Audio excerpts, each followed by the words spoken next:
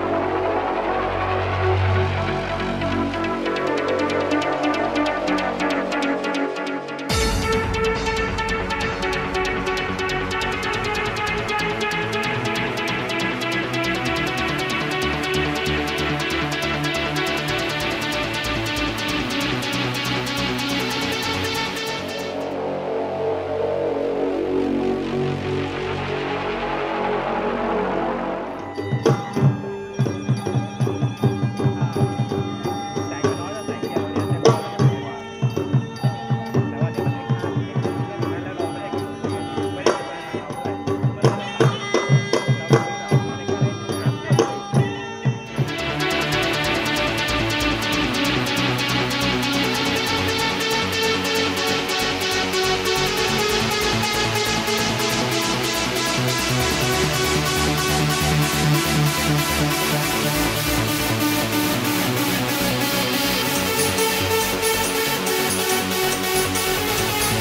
ะผู้ได้รับรางวัลรางวัล popular vote นะคะ ขอแสดงความยินดีกับหมายเลข 49 ค่ะแปมภูวิสาฉวางค่ะ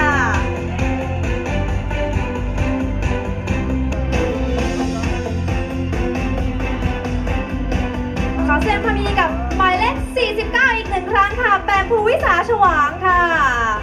ตำแหน่งรองชนะเลิศอันดับสองขวัญใจชุมพรค่ะ และผู้ที่ได้รับตำแหน่งขวัญใจชุมพรในคืนนี้ได้แก่หมายเลขหมายเลข 50 ค่ะใบเตยธาราทิพย์สุขดารุณพัฒน์ค่ะ ครับก็เชื่อว่าเป็นที่ชื่นชอบนะครับ